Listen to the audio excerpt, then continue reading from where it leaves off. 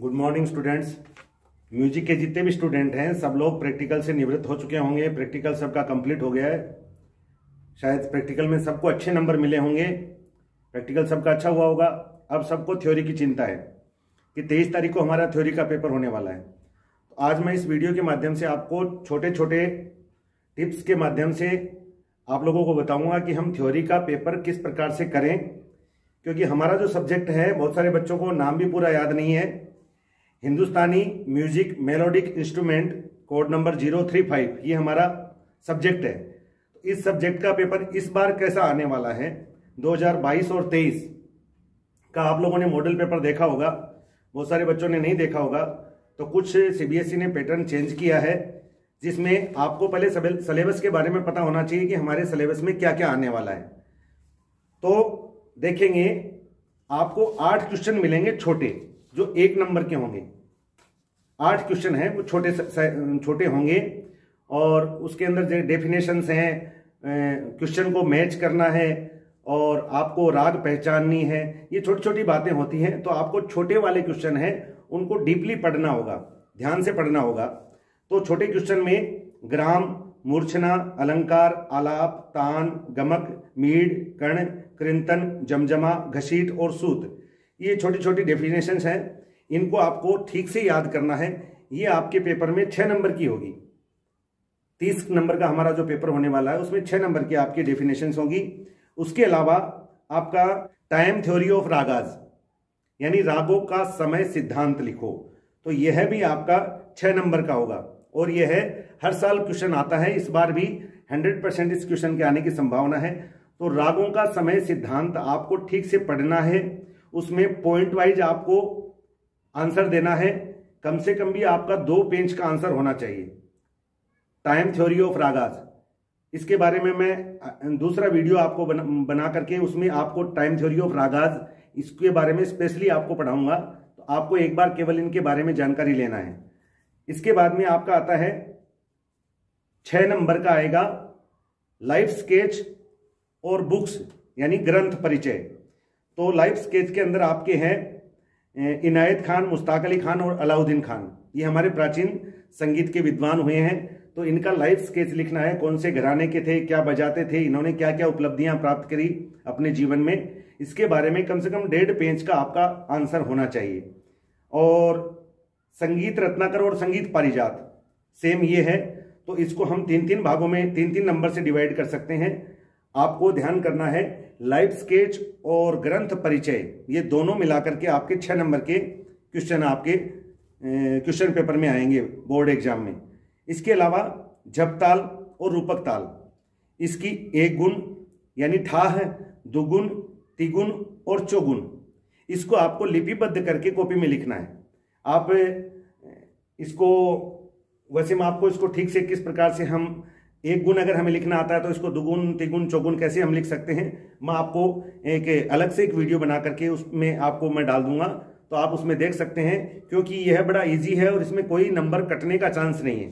तो यह भी आपका छः नंबर का आएगा।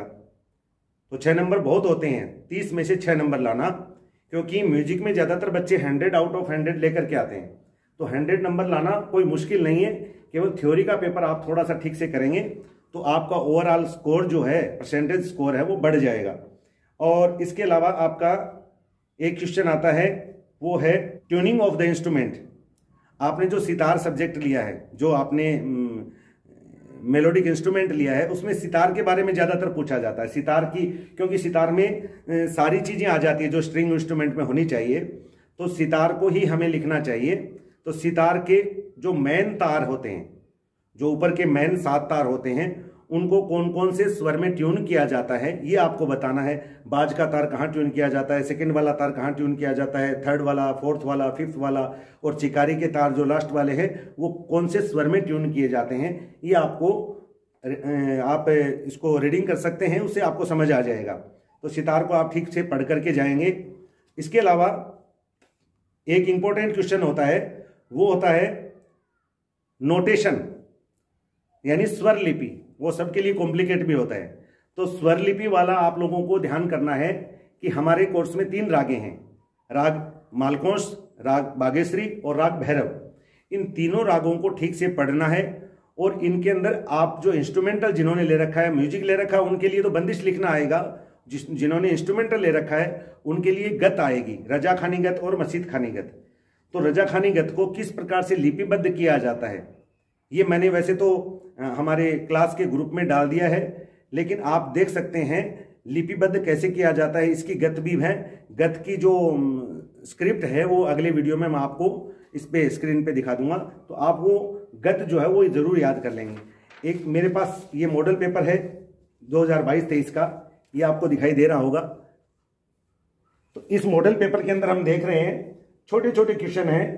इन क्वेश्चन के अंदर आपको दो दो एक एक लाइन के अंदर आंसर देना है। और इसके अंदर आठ क्वेश्चन है। ये ए सेक्शन है। इसमें तीन सेक्शन बनाए गए हैं। ए सेक्शन बी सेक्शन और सी सेक्शन ए सेक्शन है वो पर क्वेश्चन वन नंबर का है, एक नंबर का है। बी सेक्शन में पर क्वेश्चन टू नंबर का है। और सी सेक्शन में पर क्वेश्चन है, वो है छह नंबर का। ये बड़े क्वेश्चन है। तो आप ध्यान करें कि कोई भी क्वेश्चन छोड़े नहीं। हर एक क्वेश्चन के अंदर कोई ना कोई आपको ऑप्शन मिला है।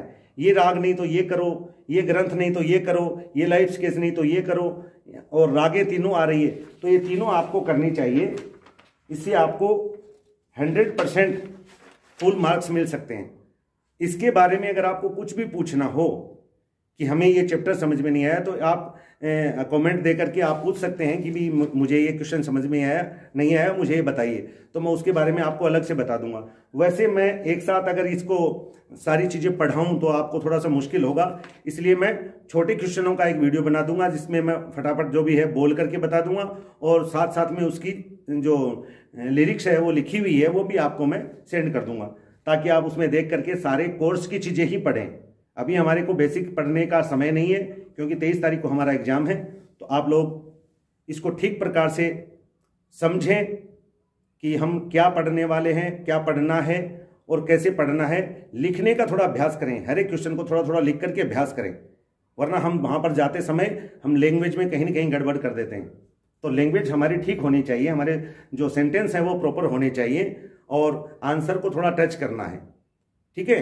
तो नेक्स्ट वीडियो में मैं आपको सब्जेक्ट जो है, वो क्या और कैसे लिखना है, क्या लिखना है, ये आपको बताऊँगा। अभी तो मैंने केवल पेपर का पैटर्न आपको बताया है।